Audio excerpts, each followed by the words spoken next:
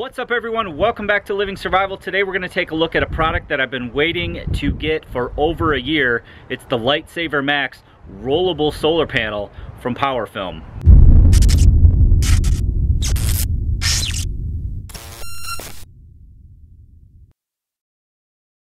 Now just over a year ago I was able to test out the prototype of the Lightsaver Max, this being the final shipped version. They did clean it up a bit from the prototype. So let's go over some of the specs of the Lightsaver Max. Now as I said I reviewed the prototype or took a look at the prototype a little over a year ago and there were some issues with that. We'll go over some of the changes in those. They've also upgraded it now to an 18,000 milliamp integrated battery, and that's one of the great features of this unit. So not only is it portable, it's lightweight, it's packable, meaning you can tell by the form factor here that you can slip it down in a pack, you can attach it to the outside of a pack. Uh, much more so, in my opinion, than the square uh, foldable solar panels. This one being a rollable solar panel and having the integrated uh, USB battery bank on the inside makes it a fantastic device that you don't need a whole lot of extras. You don't need extra cables. You don't need the extra power pack. You simply take this unit and this unit itself out with you where you would need solar power. You charge it during the day and you have that, uh, that energy or that stored capacity whenever you need it. So made in the USA, again, PowerFilm is a company that designs and develops uh, foldable and rollable and also uh, solid solar panels for the military. So they do really high end, they do really high quality work. Now, some of that being, uh, of course, integrated into the Lightsaver Max. There are a few issues, though, that they could probably clean up a little bit for consumer use. On the input side, you not only have a USB-C input, so you can charge it quickly from the wall, but you also have a 12 volt input. So using the included adapter, you can plug this into your car, for example, and charge it that way, giving you a quicker charge. I believe it's about four to eight hours from the wall and uh, four to six hours from the sun. Now I did leave this in full sun and I was amazed at how quickly it did charge and I drained it all the way down. Again, it's hard to tell if you're getting much of a charge due to the fact that it has that built-in battery. So therefore you don't really pass through to a device directly from the sun. It's charging the internal battery. The internal battery is what's going to charge your device and there's some pros and cons to that as well. As far as the outputs go, you have uh, dual 2.5 amp USB outputs and you also have a 12 volt output. So again, having that 12 volt input and that 12 volt output is something that you don't really see on these portable solar panels. The only other one that I've reviewed is the Goal Zero. Now I do like the Goal Zero. It's small, it's lightweight, it's 12 volt capable, and it's waterproof, something the PowerFilm or the Lightsaver Max is not. I'd call it semi-water resistant. So taking a look at some of those features here, you have the end caps, which were not on the original version. The original version simply just had sort of this unfinished side. So I'm happy to see that they did some end caps. It would have been nice if they uh, somehow made this waterproof or at least more water resistant. Uh, in the winter especially I've noticed that when I set this down on the ground or even on a pack that I set on the ground you know you can get snow and ice and rain sort of built up. Not that you would leave this in a downpour but just using it around camp I found that I did get some moisture in here. So it would be nice in a future version maybe to waterproof this a bit more. Uh, but these are you can tell these are really solid uh, caps here so they are a little bit cumbersome to get on. You sort of got to stick these uh, notches here into the holes on the ends but they do have a really nice snug fit. And again being designed or being a company that designs for the military you know they're designing this stuff to be tough sort of got this uh, little chintzy thread on it here and it sort of gets in the way when you're rolling it up. So that's definitely somewhat of an issue. So it'd be nice to see in a future version if they could somehow clean this up a little bit more so we can look closer at this side here. You can see you have your 12 volt input, USB-C input, and then your power button. If you press the power button once, it's gonna give you an LED readout. One thing you notice about this bar here is that it sort of bleeds together. It doesn't really bother me. The camera kind of makes it look worse than it is.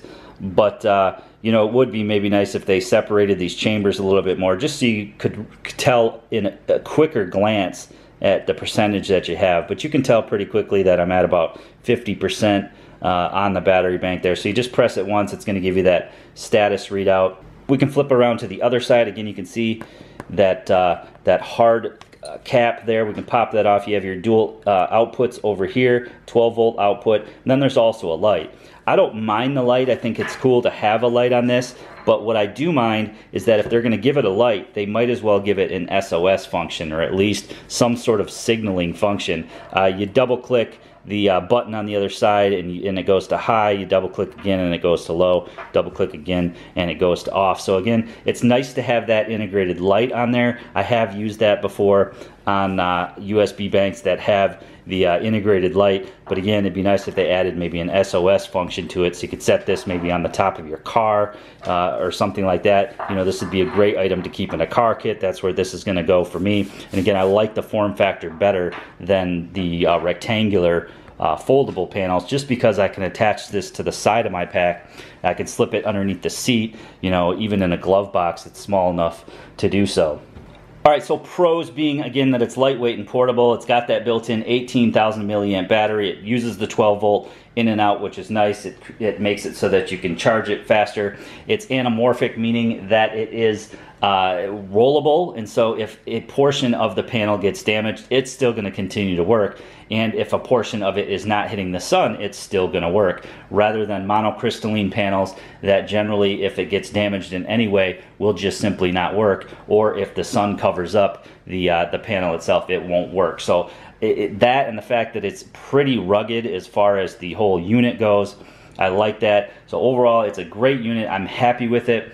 Some of the cons being that it's very expensive. It runs about $340, which is about mm, about $140 more than you'd pay for a Goal Zero. Now, of course, the Goal Zero uh, doesn't have the cap the form factor that this has and it doesn't have the anamorphic panel. So, you know, some different technologies going on here. I hope the price point comes down on that as well. Another few complaints here are these end caps. Although these end caps are very beefy, they're tied on with this tiny little string here. They are kind of a pain to get in and out. And then again, you don't get any waterproofing or any weather resistance on there that I definitely would like to have on a, on a uh, colder and more wet day, that would definitely be nice. And then as far as these attachments go, on the original prototype, I believe it attached with a magnet. So when you rolled it up, it magnet closed here. I really liked that. I preferred that way more so than these sort of these hair bands that they have on here. And they do give you some spares. I don't know if they've been breaking them and testing,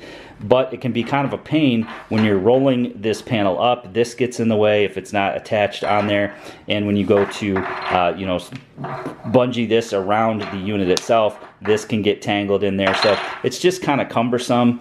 Uh, not that big of a deal, but you know those little things that can be improved would make this an even better unit. So I think maybe a magnet closure, and then having some more uh, attachment points. So you can see here that you do have the two grommets uh, on here. It'd be nice if you had maybe a couple more grommets on there, and then on the other side of the panel, you can see here that you just kind of get hung up sometimes on these uh, end caps here you got to be sure to shut those. Now I'm hung up on the other side. Got to be sure to shut those before you deploy or roll this back up. Now on the other end here there's also no attachment points. I mean there's these little holes here which I guess you could string some sort of uh, cordage through there and then be able to attach it that way. So just maybe some more attachment points would be nice especially when you're attaching this to a pack uh, you know, you kind of just got to be creative with how you're doing it. And again, they've made it to be uh, more sleek and streamlined. So I appreciate the fact that, you know, they didn't design that in there. But for my uses, you know, I'm definitely going to rig this up a little bit differently. One last con I have with this particular unit, and it's probably because I've tested so many units, is that this does not have auto restart. The Goal Zero does have auto restart, and that is a handy feature when you run out of juice in your USB battery bank. So if you drain this all the way down completely to zero, which I did, I hooked up devices to it, drained it all the way down to zero, threw it in the sun, hooked up my phone, and of course it did start charging the phone, but then I took the sun away, I covered the solar panel up, of course it stopped charging the phone, removed the, uh, the cover again with the sun and the phone did not start charging again. So in order to start charging, I had to hit the button on the side again to activate the uh, internal battery bank because really what the panel is doing is it's charging that and then that's passing through to your devices. So it'd be nice if they could come up with a way to, uh, to make this thing auto restart. As I said, overall I'm happy with the product.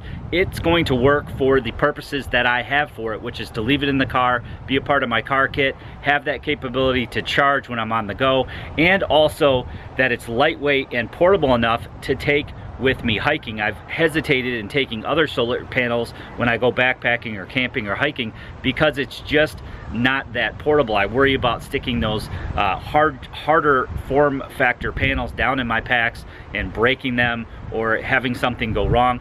This I can just clip to the outside of the pack, rolled up, and it's going to work great. Price wise for the thin film technology is still a little bit high. So again, unless you have a particular uh, purpose or you fit that particular niche of people that can use a product like this, it may be a little out of reach for mass consumers at this point for the price, I'd like to see them fix the cons that I have with it, which is reinforce those end caps to maybe make them more waterproof, make the whole unit a little bit more water resistant, and then add some more attachment points to be able to attach it uh, more easily to things like packs and just simply hanging it around camp.